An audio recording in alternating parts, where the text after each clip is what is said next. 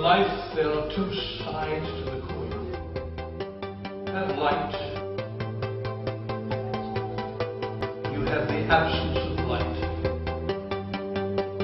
Still the mind to the point where thought all but ceases.